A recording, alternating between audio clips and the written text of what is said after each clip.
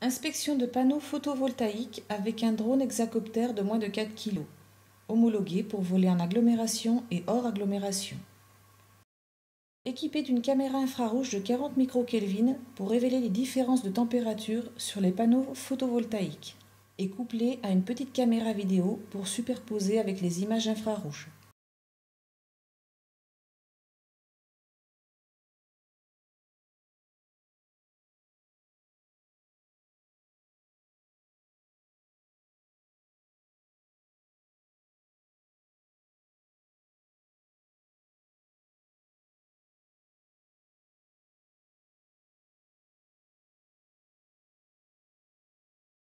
Survol pour une vue d'ensemble et descente à une distance de 5 à 10 mètres des panneaux.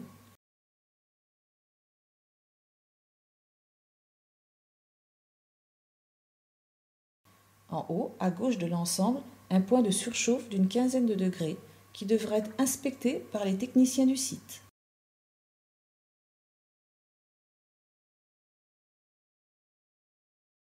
Température des panneaux environ 60 degrés, et le point chaud est de plus de 75 degrés.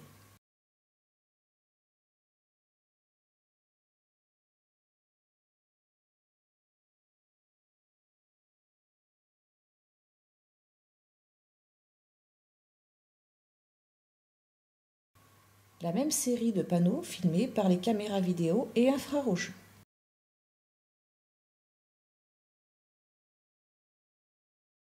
Dans les angles inférieurs gauche, une surchauffe d'une dizaine de degrés.